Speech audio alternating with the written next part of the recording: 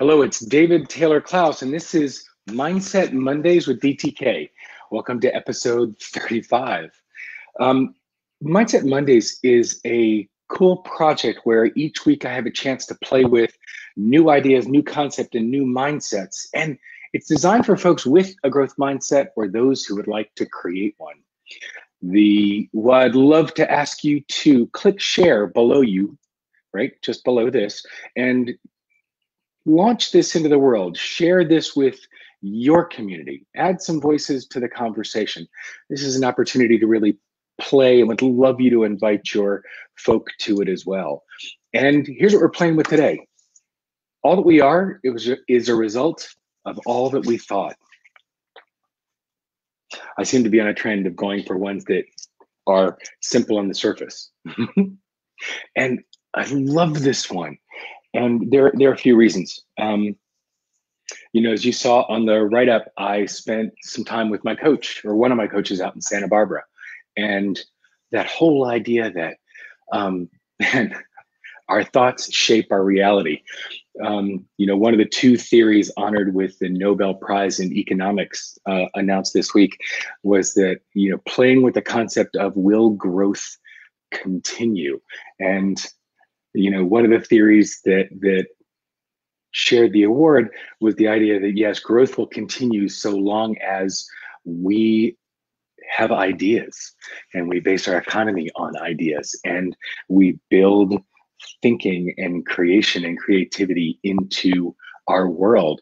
Well, look at the idea. All that we are is a result of all that we thought how we our thinking shapes our reality and our thinking shapes therefore our future. And the idea that no not necessarily living in a software simulation but the idea that the way we think things are created twice always. First in our minds second in the world all that we are is a result of all that we thought. Well, looking back, all that we are now is a result of all that we have thought up until now. I was working with Rich Litvin over the last four days at the at an intensive, and he talks about yeah, most often coaches are simply helping clients focus on different actions to yield different results as opposed to looking back further and looking at the lenses through which we see our world. Our job as a coach is to help our clients take the lenses off that they're using and look at the world in a different way, to mess with their thinking, provide them a different way of looking at things. Well, that's only a piece because then before that, the words that we use, the thought that we have shape our lens, shape the lens, change the way we see the world, and that therefore changes the actions that we take, thereby yielding different results. The, you know, taking this all the way back, the identity that we have of ourselves, the way we see ourselves, shape our beliefs, which change our thoughts and the way we speak into the world. And that changes our feelings, which changes our actions, which yields different results. So by working with the identity that we hold, the identity that I hold of myself, I change who I am, the actions I take, the results I get, changing how I see myself, changing my thinking changes my world. Yeah, it's been a really killer week.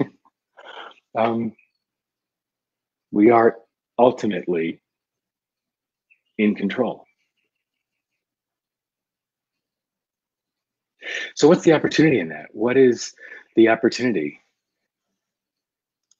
Yeah. Uh, so, Neil, what I love about that, um, if you think you'll succeed or you think you'll fail, you're right. That goes right back to Henry Ford.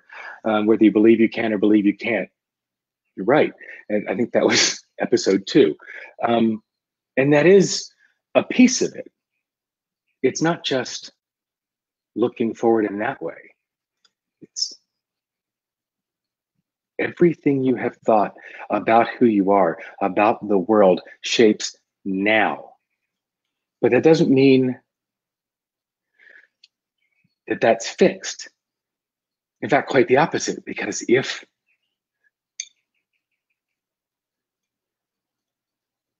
Yeah, it is that simple. If and when I change what I think, and when you change what you think, you change what's created in your head, then you change what's created in the world. You know, seeing myself as somebody who cycles or who rides a bike and somebody who um, is just hiring a running coach because I want to start running and at my age, I don't want to blow my knees, right? So, seeing, taking those actions is one thing. Changing the way I see myself. I see myself as an athlete, and I haven't seen myself as an athlete for a while. Sort of moved into more of a slug state. and I'm shifting that identity again. Seeing myself as an athlete changes the way I am in my body. Changes the way I feed my body. It changes the way I rest and recharge and refuel my body. It changes the way I use my body. It changes the way I stand in it. And it changes the way I engage in activity. So I change how I see myself, change my thinking, and it changes my actions and it changes my results which is different than just going out and doing things. The results are more fleeting when we merely change our actions without changing the foundation, the foundational thoughts behind it. You know, as I stopped seeing myself as an athlete, my God, I think that really changed after a wicked bike accident several years ago. When I stopped seeing myself as an athlete, I changed the way I used my body. I changed my actions because my thinking changed. And so shifting that thinking again allows me to change. So uh, the cool piece here is as you hear this, as we play with this idea, as you look at this quote, what's coming up for you? What, where are the places where you have an opportunity to change the way you see the world and the language you use to describe the world, to change that lens so that you can change your behavior. Where are those opportunities for you?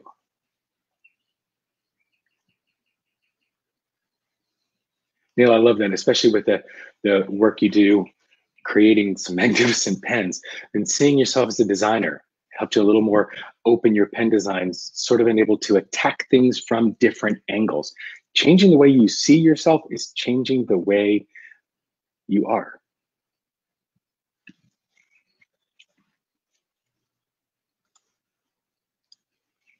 I was having this conversation with my daughter, my eldest, who's got a whole bunch of stuff going on in a very tight window in which to do it all. And it's easy to see the overwhelm. And so the question I asked her is, what if it were easy? And that's not Pollyanna, you know, waving a wand, boom, it's easy. No, no, no, no, no. It's quite the opposite. What if it were easy? What would it look like? I mean, Tim Ferriss talks about this a lot. Um, what if it were easy? What would have to happen? What would have to be in place if you saw a process or a stretch of time or an activity as easy? How would you engage in it differently? What pieces would you delegate? Which things would you reduce the complexity and get to simplicity to allow it to move more easily? How would it change the way you engage?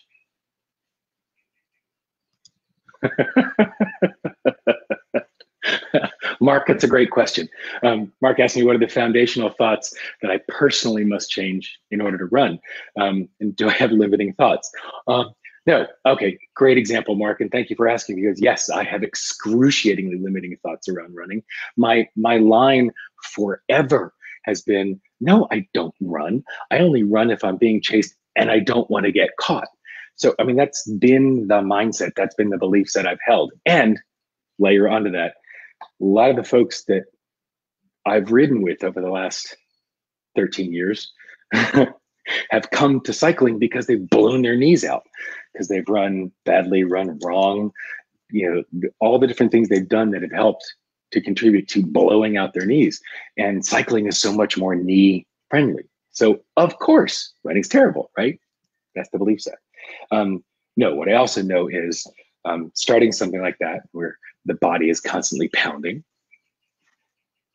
Everything's about form. If I learn or when I learn how to do it right. I didn't learn most of much of the techniques of cycling until I've been riding for three years. Um, really had no idea all the uh, so much of the finesse is the pedal stroke, the angles, getting the geometry on the bike right. Nobody taught me that. I just started pounding on the pedals. It was years before anybody said, you know, if you do it like this. um, so with running, if I start off with a proper form, body in the right relationship over the legs, the right the right gait, the right stroke, uh, you know, striking the ground properly. So I'm not damaging my knees. Then I will be able to run. Living right on the corner of Pima Park, I had the opportunity to walk out of my house, lock the door, and run. Wickedly efficient, right? And in order to do that, I want to do it smart. I want it to be easy. so the foundational thoughts that I had to change to get there was no, what's wrong with running is doing it wrong. What's right about running is it's incredibly efficient, it's easy, it's simple, it's fluid when I know how. So I'm hiring Kyle O'Day to teach me how. and I'm making it easy. Okay, right now I'm in the place of I'm making it easier. so moving past the complexity of trying to hammer through it myself and going to simplicity, making it simple, changing the way I think to change my actions, to change my results.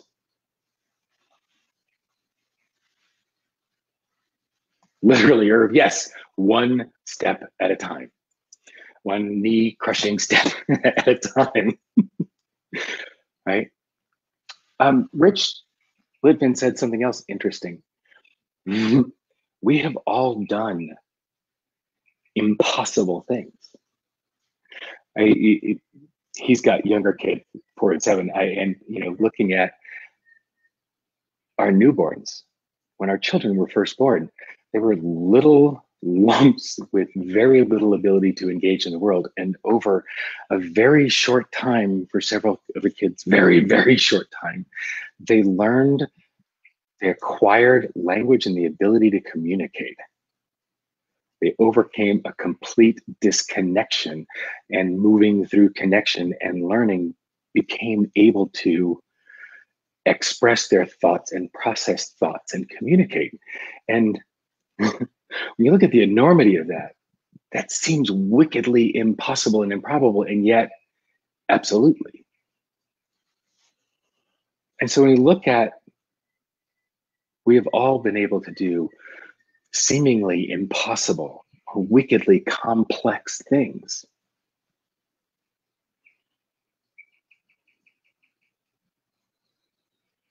We always have the opportunity to do the impossible and we change our thinking to be limitless. See myself as limitless, the opportunity to do something improbable. Even it's as simple as the nursery rhymes that we grew up with. I think I can. Well, say no, I can. It's a cool opportunity. So, going back to you, as simple as it gets, right?